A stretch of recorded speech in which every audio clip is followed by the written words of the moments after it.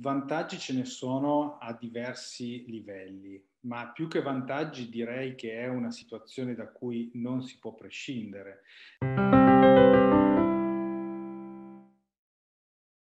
Eh, è quasi un obbligo per riuscire a rimanere aziende in un mercato competitivo, è quasi un obbligo per rimanere aziende in una in un contesto ambientale e sociale che pretende di avere una, un cambiamento rispetto all'attività dell'azienda stessa. I benefici sono sicuramente a diversi livelli. Eh, a livello interno stiamo parlando di una trasformazione che coinvolge tutto il personale di un'azienda eh, verso degli obiettivi comuni eh, di, di, di, altissimo spessore, che coinvolge i dipendenti in una eh, a conoscere quelle che sono le strategie a, a, a medio-lungo termine, non soltanto quelle a breve termine. Eh, sono, sono, impatti eh, che si hanno a livello sociale, a livello di eh, conoscenza di quello che è la,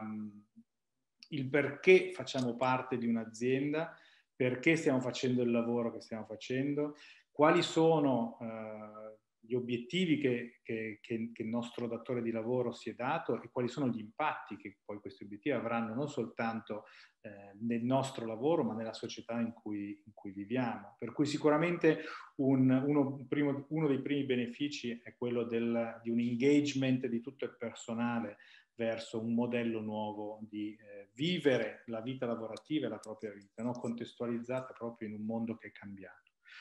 Altri obiettivi sono sicuramente legati alla sopravvivenza stessa dell'azienda in un mercato competitivo che si sta trasformando. Si sta trasformando perché la comunità europea, la comunità internazionale, l'Europa in primis sicuramente, sta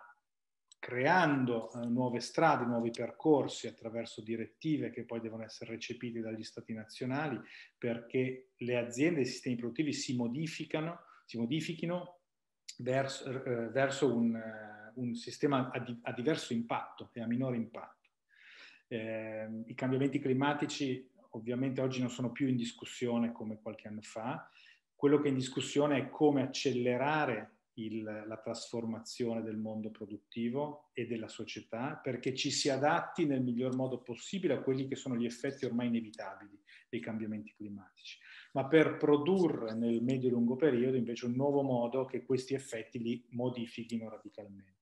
Quindi uno dei benefici sicuramente è quello di riuscire a rispettare la compliance normativa eh, che ci viene imposta in primis dall'Europa e poi dallo, dagli stati nazionali. E poi eh, sicuramente quello di riuscire ad adattarsi ad un mercato competitivo che si sta eh, sicuramente riadattando a quello che sono le nuove richieste da parte dei consumatori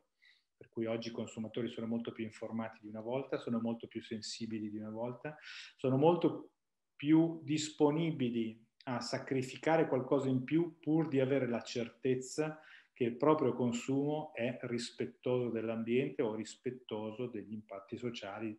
dell'azienda dove produce proprie, i propri servizi, i propri prodotti. E poi un ulteriore impatto è sicuramente a livello di sistema, un ulteriore beneficio è sicuramente quello di sistema perché stiamo andando uh, un, verso un, un, mondo, uno scenario economico che vede le imprese molto più collegate di prima.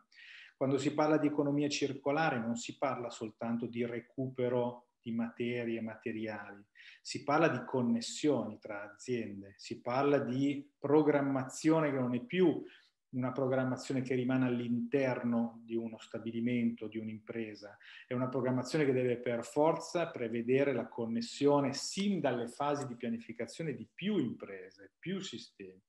Per cui questo è sicuramente un altro vantaggio, quello di riuscire a, a connettere il mondo produttivo tra soggetti che fino a ieri si parlavano poco, si parlavano solo all'occorrenza. Ecco, l'economia circolare è sicuramente questo quello che deve ambire